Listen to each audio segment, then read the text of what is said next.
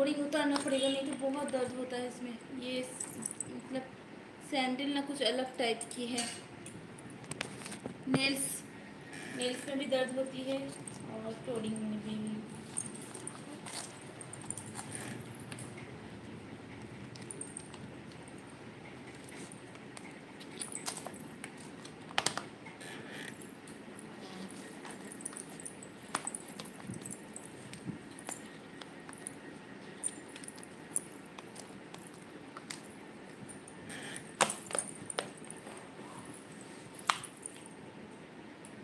ठीक है